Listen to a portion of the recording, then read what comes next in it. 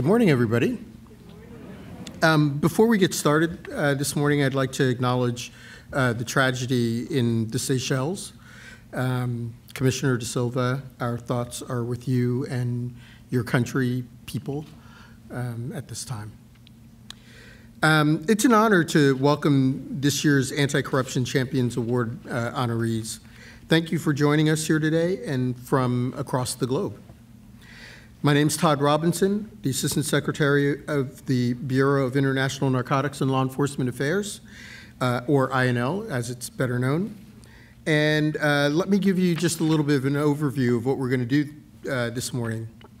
We have, as you see, a high-powered lineup for you today, starting with uh, Secretary uh, Antony Blinken, who has uh, made it his business since day one to place the fight against corruption at the center of our foreign policy.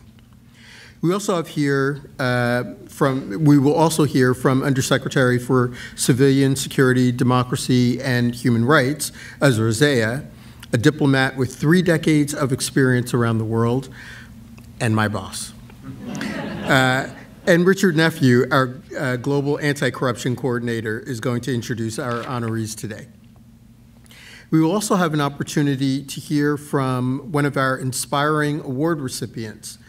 As I mentioned, the fight against corruption is front and center in our uh, U.S. foreign policy. As I'm sure our honorees can attest, this fight is a difficult one, but from Europe to Africa to Central America, we have seen remarkable wins in 2023. In Guatemala, there was an election victory by a presidential candidate Bernardo Arevalo from the Semilla Party, who ran on a platform of weeding out corruption. In Ukraine, INL works closely with anti-corruption investigators and prosecutors who this year alone have opened cases against over 20 high-level government officials, including the former Chief Justice of the Supreme Court. Since the summer, Ukraine has advanced significant reform measures, including requiring government officials to declare their assets and adding judges to the High Anti-Corruption Court. In Liberia, our embassy's stalwart support for action against corruption has put compromised officials on the defensive and is fueling the Liberian public's desire for increased accountability and sanctions. As you'll see short, shortly, the tenacious men and women with us here today are responsible for successes like these. Tenacious but also, let's not forget, fearless. Corruption is silent, secret, and corrosive. People know it's out there, but it's difficult to root out. That has not deterred our honorees who have joined this fight at great personal and professional risk, but not without recognition. To today's honorees, we see what you are doing and we applaud it. With that, I would like to invite Undersecretary Zeya.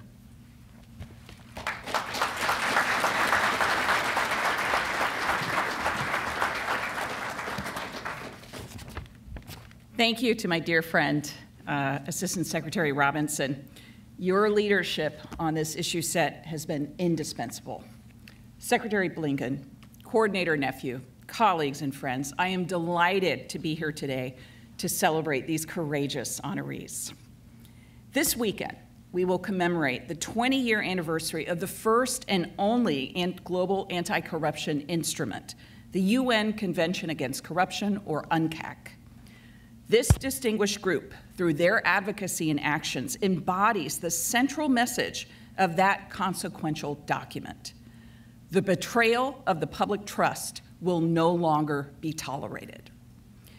The drafters of UNCAC, which included the United States, understood the corrosive impact of corruption and recognized it as a transnational challenge.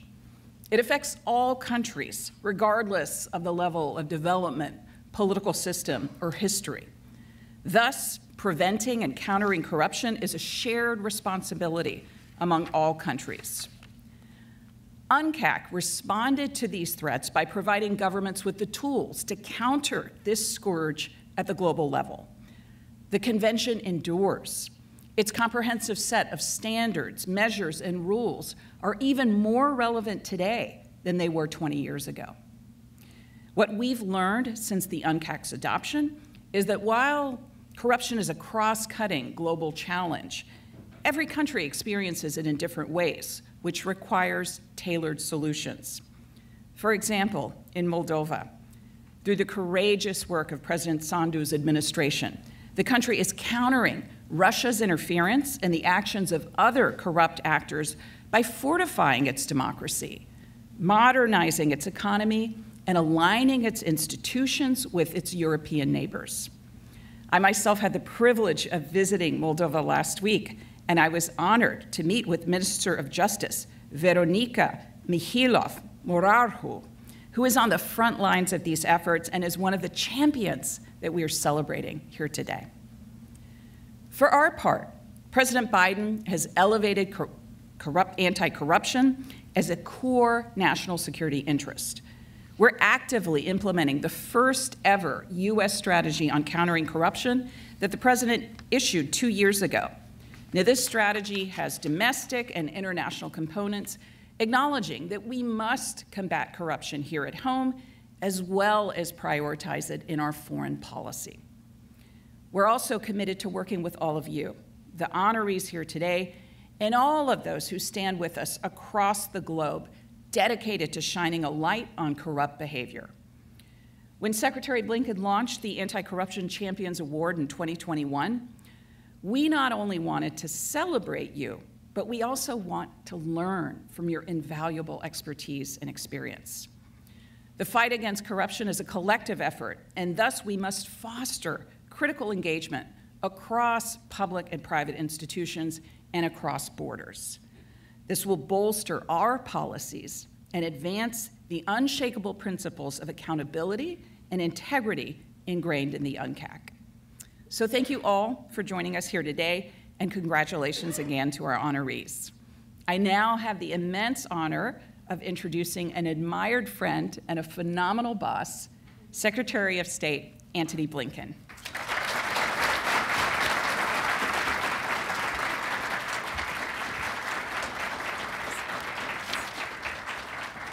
Thank you. Good morning, everyone. So this is a day, a moment uh, I've been looking forward to, and uh, we'll share the reasons why in just a minute. But first, let me say to Undersecretary Zeya, to Assistant Secretary Robinson, to our coordinator nephew, thank you not just for today, but for the extraordinary work you're doing every day, uh, including and notably on taking the fight to corruption. Um, in public service, uh, whether in government or in civil society, I know it can feel at times like the challenges are just too big. The forces arrayed against change, too strong, too entrenched to make meaningful progress. One of the things that I love most about this ceremony each year is that every one of our awardees has proved that idea wrong. There is no force uh, against progress that is actually immovable. Um, you've demonstrated with your work, with your courage, with your commitment, that it can be done. Even in places where impunity is the rule, you've shown how determined individuals can tip the balance, make the difference toward justice. Uh, today, we gather not only to honor these extraordinary champions, but to learn from them. Uh, corrupt officials and their partners are constantly borrowing from each other's playbooks.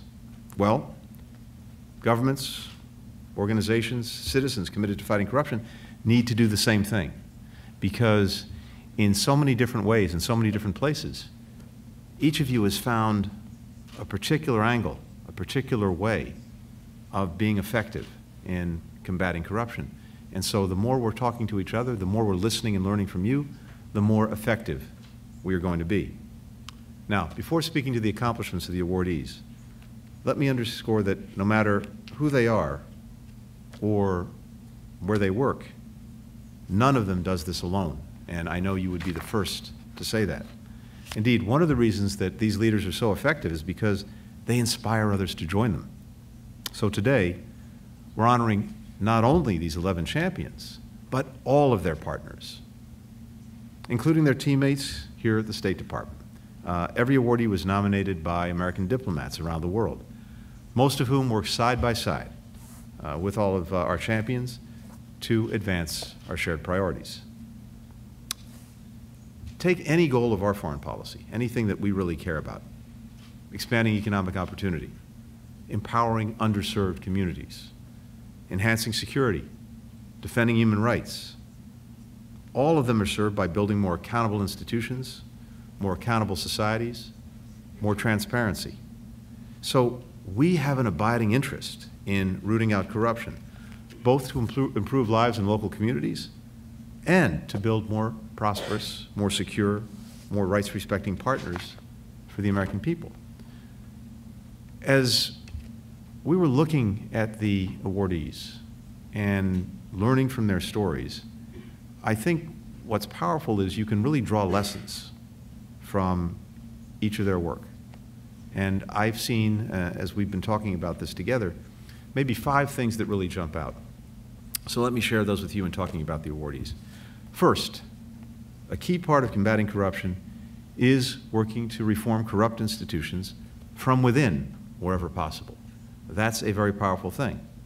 Uh, you heard reference to Veronica Mihailov-Moraru um, and what she's done in the Republic of Moldova.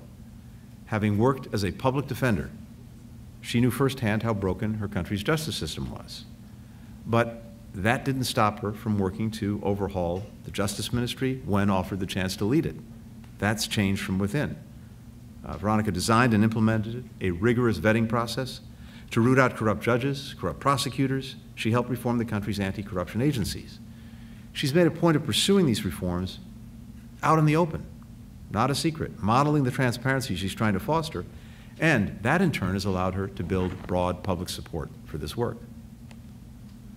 Vladimir Novović made a similar leap when he left his post as a judge to become Montenegro's chief prosecutor for organized crime, corruption, war crimes, terrorism, and money laundering.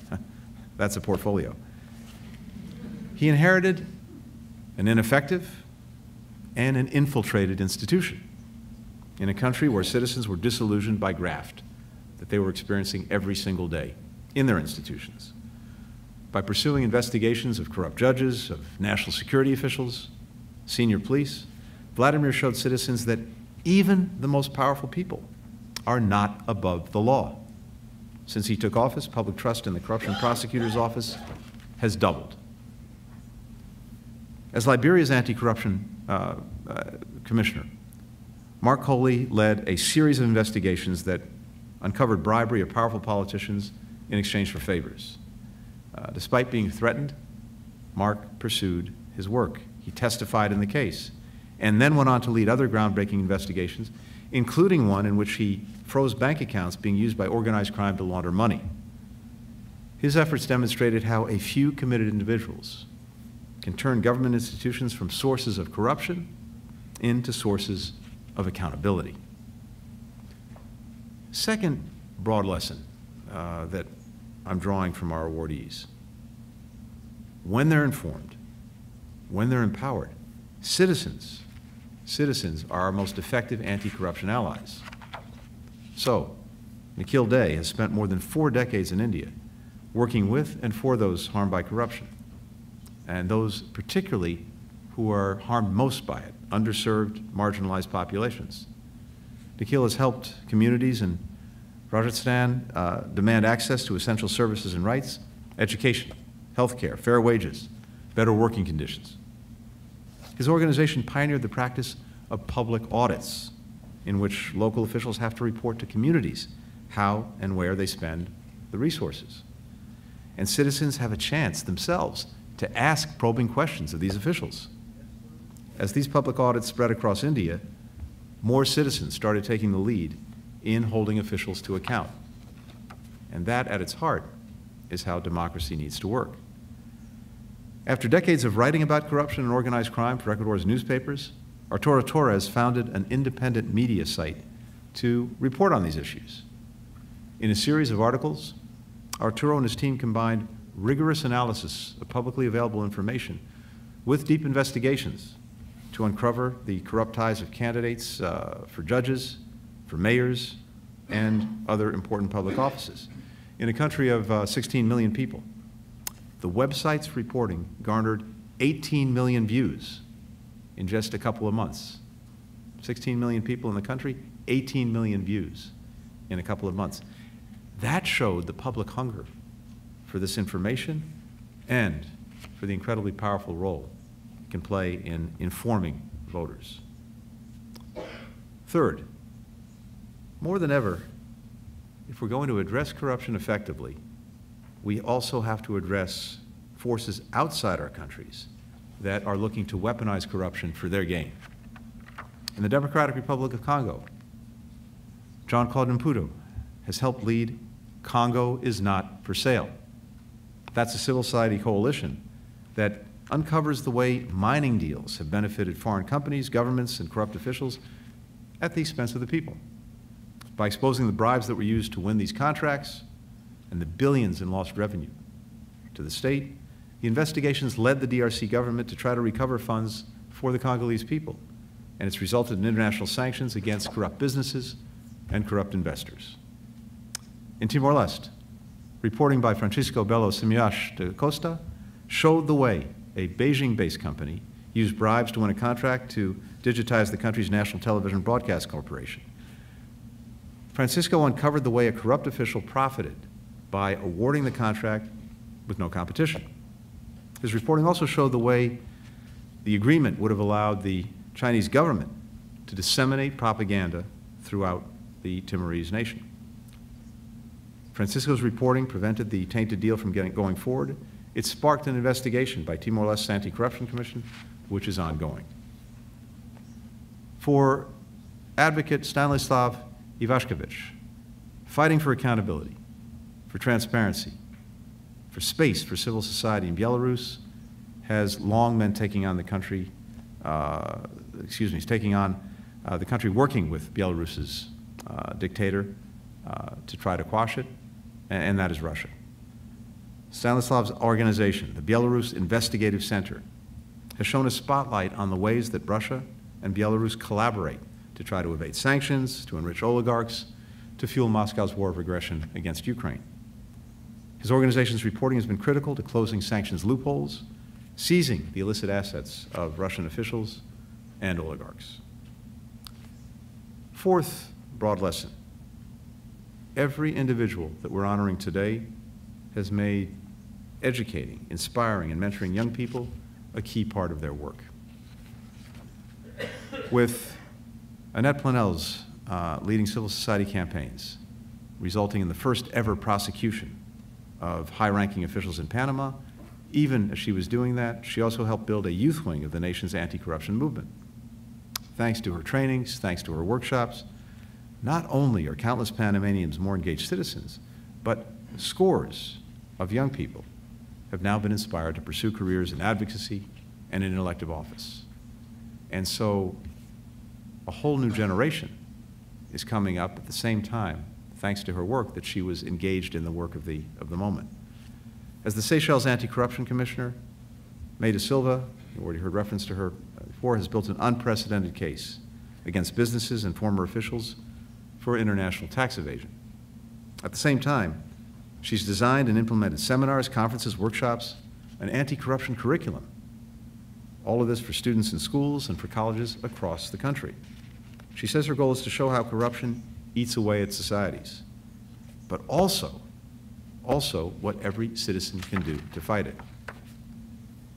In Kyrgyzstan, Ali Toktakunov leads Media Hub. This is an independent news outlet that exposes corruption and shows corrupt actors and how they're using social media to try to hide, to obfuscate their crimes. A key part of Media Hub's efforts is building greater digital literacy among young people something that they're doing by holding workshops across the country's universities so that individuals are better prepared, better equipped to detect and call out online disinformation. Fifth and finally, every one of these champions, every one, has in some fashion been subject to repression, to threats, to persecution for their work. Several have been forced into exile. Many are subject to ongoing legal proceedings. Some have been locked up. their families have also been threatened. One of our awardees said that his small children can no longer play in public playgrounds and parks because of targeted threats. And yet, each and every one of them persists. They continue to do the work. As awardee Arturo Torres said, it's part of the job. To all of today's awardees, your bravery, your commitment to truth, to justice, it humbles us. It inspires us to do more. And it adds even greater urgency to the enduring effort to strengthen protections for advocates, for human rights defenders, for journalists, for educators around the world who are threatened and attacked for the work they're doing to fight corruption and to better their societies. Um, as you've heard from Undersecretary Zeya, Assistant Secretary Robinson, this has been a top priority for President Biden, for this administration, for this department from day one. We'll keep working to build effective ways to have the backs of those who are at risk and to hold perpetrators to account. I know that there are folks watching today who are leading hard fights for transparency and good governance in hard places. And I know there have to be days when you feel disillusioned, when you feel isolated, when you feel fearful.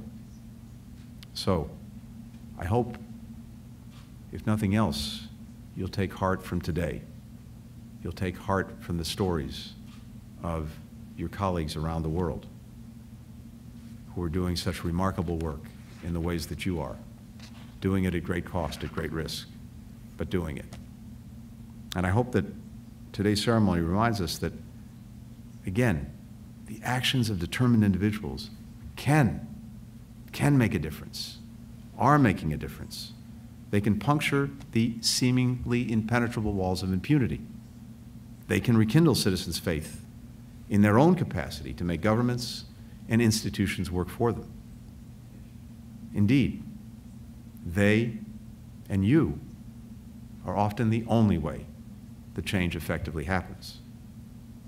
To all the anti corruption champions far beyond this room, please know you have a partner in the United States. With that, it is my honor to give the floor to one of our awardees, so deserving, who can speak most effectively for all of our awardees, Minister Mihailov Moraru.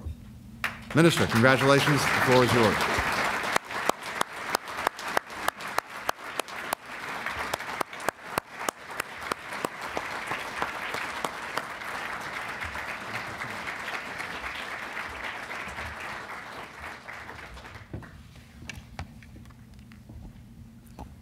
Good morning. Honorable Secretary Blinken, colleagues and new friends, ladies and gentlemen, I'm very honored to be with you here and uh, be among of this group of all uh, about um, with all remarkable activists, journalists, and public officials you have brought together from all around the world. Thank you very much for all the appreciations. I'm not sure I actually deserve this recognition or to be in the company of this inspiring group of people.